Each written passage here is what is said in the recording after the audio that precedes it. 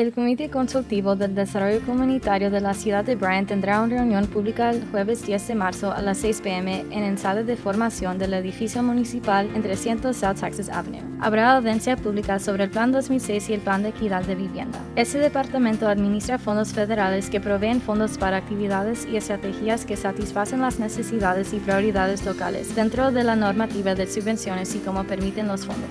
Para más información llame 209-5175.